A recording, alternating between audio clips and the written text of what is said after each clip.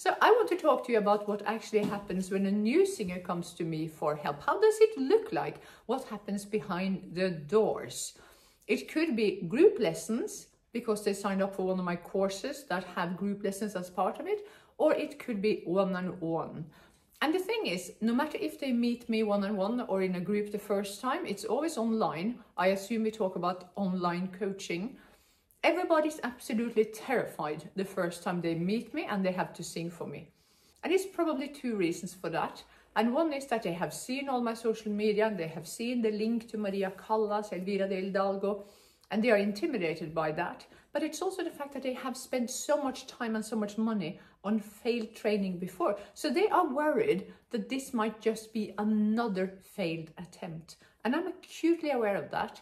And of course, before they can even start thinking about singing, I need to find a way to calm them down. So I talk with them. I ask them a little bit about themselves, their lives, their ambitions, their family, but in a very casual way.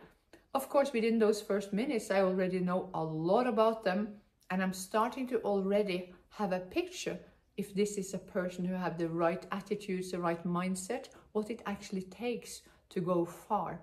Because there is so much more to becoming a great singer than just the voice. And of course, the biggest challenge in all of this is that they have pretty much 99.99% of the time been trained for 5, 10, 15 years without really learning any foundational crucial skills. So they've been trained in a way where they have been working on arias or songs that they should have never touched because they don't have the foundational skills. There is no method to all the training they've had before. And I see that as a huge problem. That has been a huge shock for me because I was so lucky. I only had one singing teacher. I found the right one. I was headhunting until I found the right one. And she trained me six days a week for more than five years. So I learned a specific method that is not written down in stone. And it's interesting because there are so many books about singing and there's so many books about painting, but I haven't seen a book, maybe there is, and I haven't found it, but you know, Michelangelo saying this and this is, this is exactly how you mix the colors and this is how you paint the way I do. And it's the same with bel canto. There are some brilliant books written back in the old days with exercises that are going to help you with your training, but there isn't any book saying this is exactly how we do the breathing, this is exactly how we do this and this. There are a couple of books that come close to that, but there isn't one saying this is the method, this is what we are doing, all of us. Because the majority of the training is from a maestra or maestro to the student, and then you pass that on to the next student. It's really important to always keep in mind that the person sitting in front of me at the other end of the Zoom call or Skype call or whatever we are using, is in a very vulnerable situation. If they have spent years of training without getting good results, they have started to doubt themselves. They have started to think that I don't have the talent. There's something wrong with my voice. Several of them have started to think that they must be stupid. And that has never been the case. They are always very passionate, intelligent people who have talent, the problem is that they haven't learned a proper method and the absence of a proper method, a proper system, a proven system with great results has left them very frustrated and very insecure. So not only do they come to me when they are pretty much desperate because they are, have started to doubt their talent, also their self-confidence has taken a huge hit. So I always look at all of this because when you are a singer, just like me here, all of this is the instrument case. Your voice is not something you can put away like a piano or a guitar. You are the instrument. It's not only your voice, you are the instrument. When I was skipping 200 times with my skipping rope this morning, that might affect how I sing if I sing 10 minutes later. For me, that will actually be good because if I'm physically active just before I sing, my body is warmed up, I will sing better. What I eat will affect how I sing. What kind of relationship I am in with all the peoples closest to me in me. And there will be so many factors that are affecting how that person is going to progress or develop as we go along with the training. That's why it's so important to actually talk with them and talk with them the right way, not just, so what do you want to sing then? What have you sung before?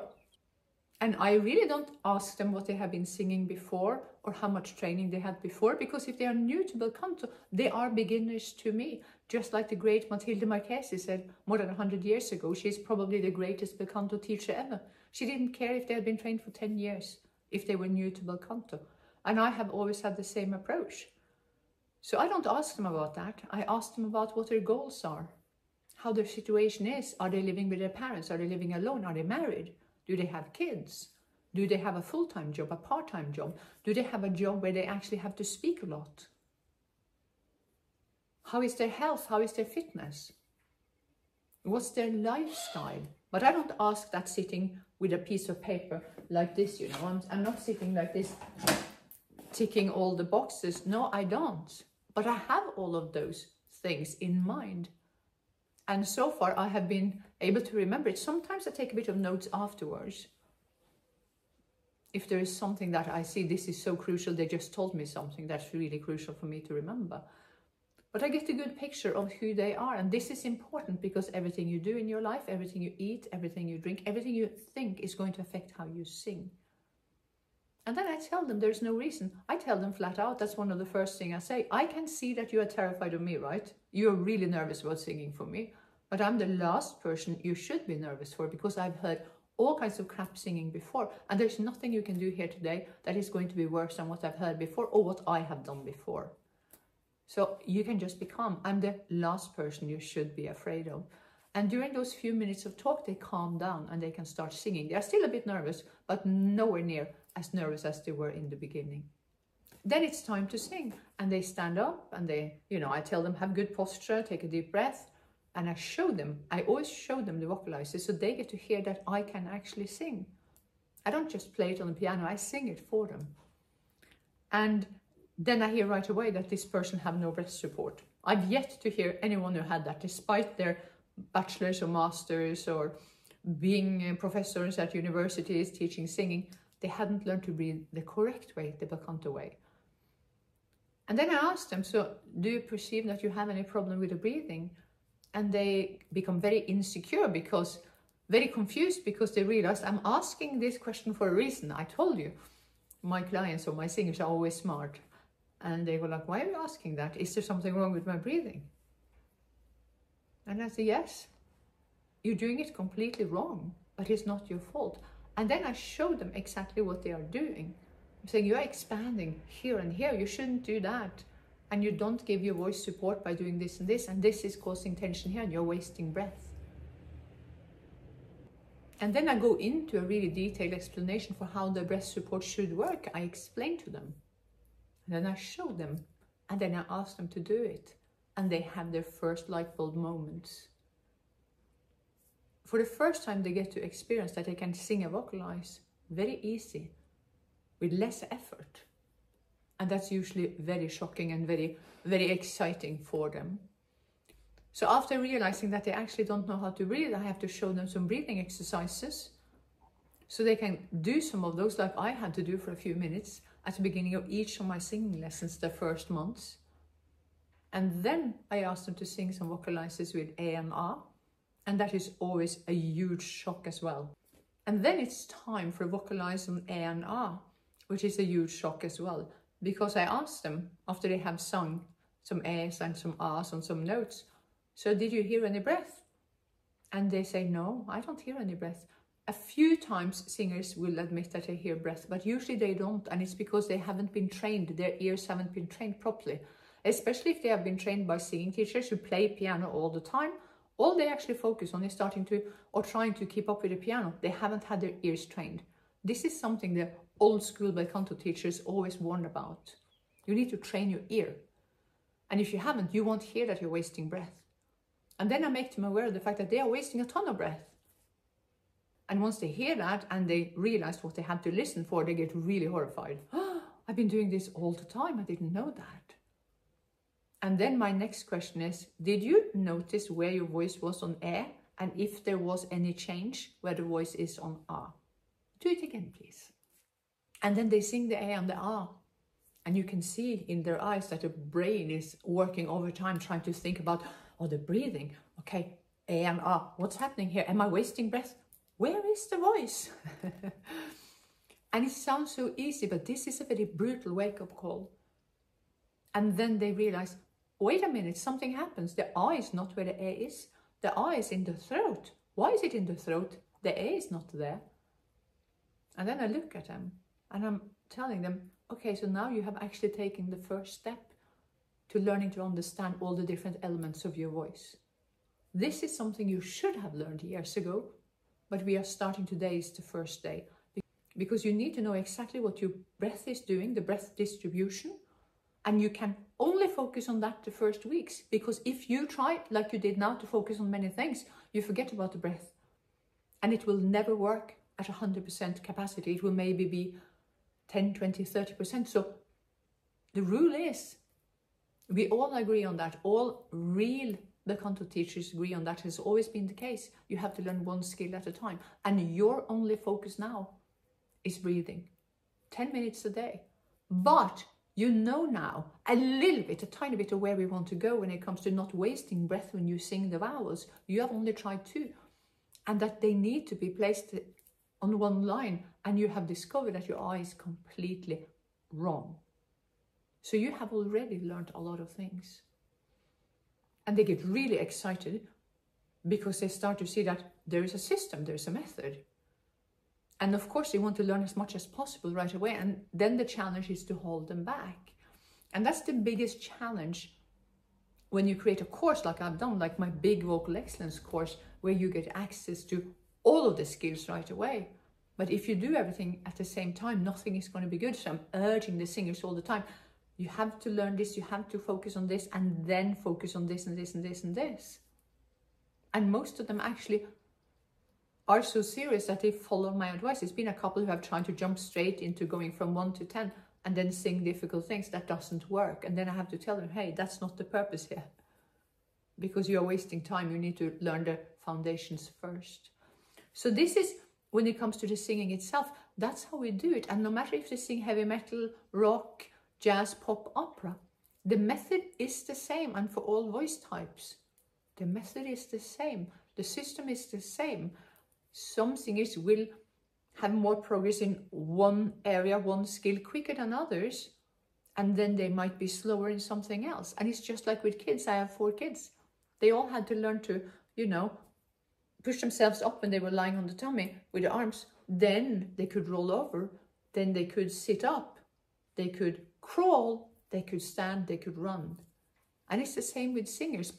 But it's different with what speed they're doing the different steps, but they have to go through the same steps.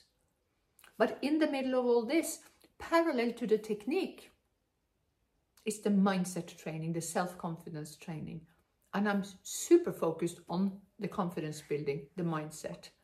Because when they already have lost a bit of their self-confidence because of years of failed training and maybe some bad experiences in concert, that's one thing. But also they might have confidence issues from previous experiences in life, like I had. I had a very difficult childhood. And I want singers who are trained by me, whether they have my courses and never meet me in person, or if I coach them in groups or one-on-one, to be confident. So this is something I've spent a lot of time on. I've been using sports psychology methods for years. So I want singers to walk on stage or into a recording studio and not only be technically really good, but also be happy and confident. Because I have worked with singers who, or artists who delivered on the highest possible level, but they were terrified. It was no pleasure for them they actually felt physically sick because of stage fright. And that's not a good situation. And my definition of coaching is not that I just tell people do this and this and this. I'm trying to unravel all the blocks, all the obstacles that are in the way of that person to become great. Because everybody can become a really good singer. But you have to find out what's stopping that person. Okay, the technique is one thing. It's a big job to actually get rid of the old habits and for me then to detect what are they doing and why are they doing it okay this is what they did now let us focus on how they can do it right because if they have been singing badly for years the brain is really really cemented into that way of singing but then that's why i always say if you focus on singing new vocalizers that you learn from me and new songs that you will learn from me you will do that right. But if you then try to go home and sing something you have sang in a bad way for 10 years, your brain will automatically fall back to the bad way of singing it. That's why it's smart to wait with singing the songs you have been singing badly for years. Does that make sense to you? Because we want to speed this up as much as it is humanly possible.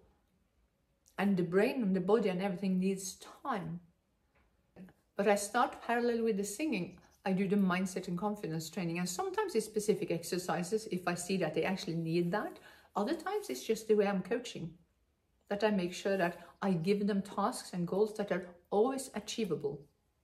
I never push a singer outside their vocal range when it comes to being confident. I never push them to try to see if they can go higher or deeper because I can hear right away where the limits are. And then when they have done the breathing exercises 10 minutes a day, I can hear if they do them or not.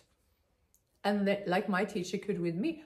And when they do those very targeted vocalizers that have a purpose, what happens is sometimes after a month, usually after two or three months, they start adding several notes to their vocal range by default because they have the right technique. And then they are really excited. But parallel to that is the confidence building. And as I said, I do this also by giving them achievable goals, not tell them to try to sing things they're not ready to sing. Because if your teacher tells you, you know, ask you what you want to sing, and you come in and you say, I want to sing Phantom of the Opera. And I've had singers who had tried to do that and they had no breath support. They will feel like a loser. It's really bad for confidence. Instead, I asked them to sing vocalizers.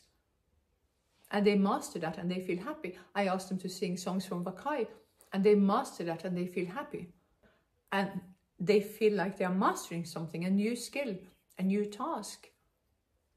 And that's a victory, and that helps the self confidence. And gradually, we are building the technical skills and the self confidence. And I will tell you, singers are very often confused by the fact that everything in your life is going to affect how you sing. That's why I created my bundled course with 25 mini courses. Some of them are just a video, others are eight videos, but it's a bundle with all of the things that will actually affect how you're singing and how you can handle all of that. I call that my singer success kit. It's like 25 mini courses for 45 pounds. I could easily sell that for a high price, but there are all of these things that I know singers are confused about. That they need to have in place if they want to perform on a high level. And one example is this I have this talented singer in Switzerland, and I told her about the routine I have, the three things I have to do if I want to sing really well just before I sing. The last couple of hours before I sing, there are certain things I do.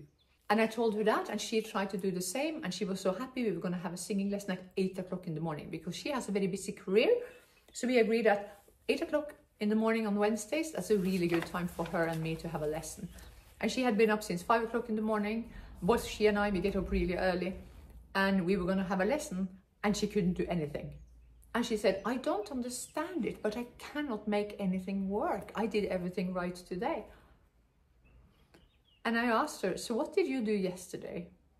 And she was telling me she had this face massage for the first time, really deep tissue massage all over her face. So all her muscles here were aching like crazy. She was in so much pain and everything felt stiff.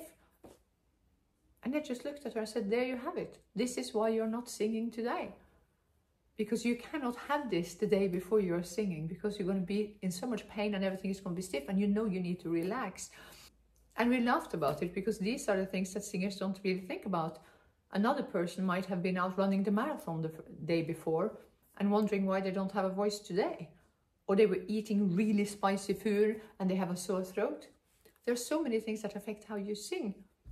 So I don't tell anyone what you have to do. I'm just telling them that what is my experience, what are the experiences of the other singers. This might be smart to keep an eye on. And very interesting, even if they don't sing classical music in the first place, they sing heavy metal or jazz or pop, acoustic music, they fall in love with the fact that they can actually sing classical, and many start to do that as well. But this is a little bit how it works. This whole thing about being coached online, I was very much against it in the beginning, but then some of my daughter's fans started to ask me for singing lessons many, many years ago on Skype, long before Zoom, long before Instagram or anything like that. And I gave them lessons on Skype and it worked really well. And then I continued to coach more singers on Skype. And then eventually in 2021, my daughter finally convinced me, she had tried for a year, I created my first course. And that took me months. And I didn't really want to do it because I didn't think that it was possible to actually learn the bel canto technique in a course. I thought they had to have access to me at all times because that's the way I was trained. But then I realized that this is not the case. And I spent, I said, I'm going to spend a week and I'm going to film that I coach my daughter and my son. One was a beginner, one was is already a famous artist. I'm going to just film when I coach you and then I'm going to just put together some videos and that's going to be the course. But it's not like that, you know. I'm a perfectionist and I really want to help people. And as I was filming, I always came up with something new. I always came up with something more I wanted to teach singers. I put together the modules. I had everything on post-its and it's like the whole wall full of post-its. And then I reshot all the videos, I think three, four, five times. And I was building out and building out. And eventually what I thought would be 10 videos was 66 videos. And PDFs, lots of PDFs. It took me three months to create that. But then I was really happy because I knew that I've just given it all and my way was always to explain something difficult in a very easy way, to make it easy, to make it achievable. So this lesson will be good for the singer and create some PDFs to help with that. And then to never try to overwhelm them, but just make it fun as well. I'm showing singers, you know, in my courses sometimes how you do it if you sing it wrong. And I sing badly on purpose. And I have lots of self-irony because you have to have that as well. So, but that, that's, that was my approach to creating courses. Since then, I've created many courses. I've created courses for public speakers. I have my vocal excellence, it's a complete training for singers. And then my most popular course, of course, is the breathing course, the Master Your Breath, Master Your Performance, which is saving singers tons of, tens of thousands of dollars. They're learning to breathe, which is the most important skill for hardly anything. So all of this has been very exciting for me. And it's always a thing in development to this day. I'm still adding videos and PDFs to some of my courses. And I think the most, the thing I've been most proud about was that in 2023, I desperately wanted to help more singers who couldn't afford or didn't want to have my biggest, most expensive courses that, you know, you pay a couple of thousand dollars for. It's still very cheap compared to that I pay $200,000 for my training. Yeah, true story it's expensive, something I very much appreciated since I came from poverty. So I turned my life around. I know what it takes. So, but uh, I wanted to create an opportunity for singers who couldn't afford it or who just didn't feel that they trusted me enough to spend big money on me. And that's totally fair because there's so many singing teachers out there who claim to know the real answer. So I'm fine with that. I don't trust anyone either, so that's fine. So I decided to almost do like a membership version of my big course. It pretty much is. But it would be so different, you know, in my big bel canto course, you get access to everything right away and you get group lessons with me. But I created a membership site where singers only paid 37 pounds a month, $48 a month. And they get lots of videos every month and PDFs and I had this going for 12 months. I started that in May last year and I ended it in May this year because it's a lot of work for me to create new content every month and do a live Q&A every month. And not much money really compared to all the time to create the content and how little the singers were paying. But it was such an amazing experience because I gave singers who would never in their lives be able to afford the bel canto training. They had access to learn all these crucial secrets and they also had access to me in the live Q&As once a month and we had a private Facebook group. And that's my proudest achievement because I have always wanted to help other talented people who couldn't afford to take their talents to the next level because we lost everything when I was seven years old. And we went from being a normal family to being the poorest of the poor. So I had lots of talents I could never develop as a kid. We were really poor. We didn't even have an indoor bathroom or indoor toilet for many years. So there's a big part of me, it's a big place in my heart that wants to help other talented people. And also, you don't really need talent either.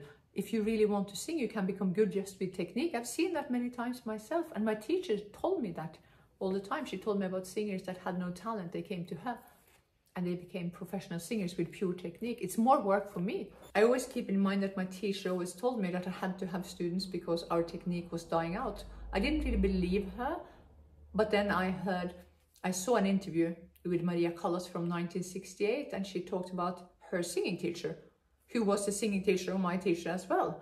They had the same teacher, Maria Callas and Naida. And Callas said that their teacher was maybe the last singer who was proper trained in the real bel canto. And that's when I realized that my teacher was correct when she said that our technique is dying out. And I always keep that in mind. It's very humbling and it's a great privilege. I didn't know even what bel canto was when I started my training. I just knew that she's the one who's going to teach me how to sing. Pure gut feeling. I couldn't speak Italian. She only spoke Italian. That's another story. But to be able to give those skills to singers who would otherwise not be able to afford it in many cases. Some could, of course, there were career people who saw that this is smart, I can do this for cheap. But there were singers from countries because of currencies and the and the salary level and all, they would never afford that otherwise. And I'm really happy that I could help so many singers with that. I only had about 300 followers on Instagram when I started it. And I think it was 46 of my followers who signed up, which was a very good percentage. And they went through the 12 month training and then I stopped it in May because I didn't have, I don't have the capacity to create even more content. But now all the content is there. It's a 12 month program that is so good and so affordable. So I'm thinking it's smart to make it available for other singers as well, because again, not everybody is going to be able to afford or be willing to pay for the big courses. But I'm really happy. I'm very proud of the membership. And I'm also very excited about the fact that several of the singers who started out as members then in what I call the Bel Canto Singers Society, they have advanced and signed up for my Vocal Excellence program. And some are even in my Vocal Excellence Elite program, where they have the big course with the one-on-one -on -one lessons. So that has been really amazing to see. Two of my most promising singers come from the membership group or the membership site or whatever you want to call it. So of all the things I've done, I think that's the one thing that I've been most proud of because it was something I did purely out of a heart and I didn't care what the price was at all. I always make my courses available at very reasonable prices but that one was a very special thing for me to do. I'm very, very happy I did it and I'm probably doing it again now. So to just summarize how the last couple of years have been for me when it comes to how it is to be me behind the scenes. So I have been creating a lot of courses, which has taken months of my time. And when you create that, you cannot work when you do it during those hours during the day because you are so busy creating. So that's, you know, you're not coaching anyone during those days or you know you set aside this and this many. Maybe you're just working part-time for weeks because you're creating a course. Then i have all the coaching one-on-one and some days that could be three or four or five lessons because they tend to cluster together with different time zones. Early in the morning my time somebody in hong kong my evening 10 o'clock 9 or 10 o'clock because there's morning for somebody in california or lunchtime there and then I have the group lessons, usually on weekends, for singers who are in my vocal excellence program. And then I also do live Q&As for singers who were in my membership group. And in addition to that, I have spent a lot of time creating free reels and posts for Instagram to help singers. And that's why I wanted to create this video to show a little bit how it is behind the scenes and also keep in mind I am my daughter's manager. I built up her entire career. I've been her manager for 15 years. That has been very neglected the last two years because I have been trying to help so many singers. She was the one telling me to do it, but now I want to get back to work more with her because we built up an amazing uh, career together as a team. We have recorded albums that have been charting in 26 countries, viral videos, endorsement deals, TV shows, so many things we have done together. And all of my four kids have asked me to coach them as singers. And many days I don't have time to do that because I'm working and creating so many things for others. And I also decided to return to proper performance singing again. And I was ready to do that again a year ago. And then there's been so many other things happening that I've hardly had time to sing lately myself. So when you see all of that and you know, age is not on my side, I need to actually do this before I'm old for real. So when you look at all that, maybe it's easier to understand how busy it is and why when I started then I learned to create viral reels in December 2023, Up until that moment, I replied to every comment and everything that happened on my Instagram myself. But when all of a sudden you have thousands of comments, you have to start using AI to take care of the first comment. Or else you have no control, you have no life outside the, the online world. So this is a little bit of an insight into how it is behind the scenes. It's a lot of notes, it's a lot of planning. There's a lot of time being spent on preparing for everything. And, uh, you know, it's not like I'm done with a lesson and I don't think about that uh, singer anymore. So it's, uh, it's a challenge, but it's a challenge that I love. There's nothing more exciting than seeing results like Anna, who is walking on stage in two weeks. And now it's on the website, so I'm allowed to talk about it. I've been keeping this secret now for months. Two years ago, she was about to give up her dream of singing opera after being trained all her life. I thought that was horrendous to hear because she is, now she is 31 and uh, she um, had pretty much given up. She had been trained so badly. She had a master's degree as an opera singer, but she couldn't really sing. She had so many issues. And now she is, uh, she has made her debut at Palau de la Musica in Barcelona two months ago. She is right now in Croatia singing Belinda in Dido. But in uh, two weeks, she's going to walk on stage in front of, there's a big festival in Switzerland. And she's going to be on stage for four nights as the only singer standing there on the big stage with the symphony orchestra and four nights in a row and they estimate around 30,000 people the first night and the last night maybe 150,000 people.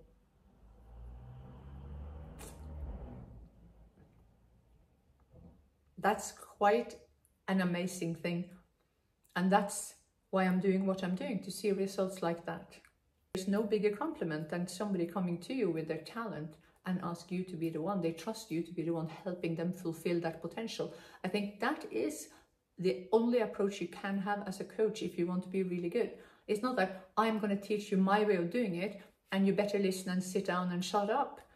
No, they come to you and they trust you to help them develop their big passion. They're putting their time, money, and trust into you. You better be ready for that and deliver the best you can. Thank you for watching. Make sure that you subscribe to my channel Tell a friend about me and I see you in the next video.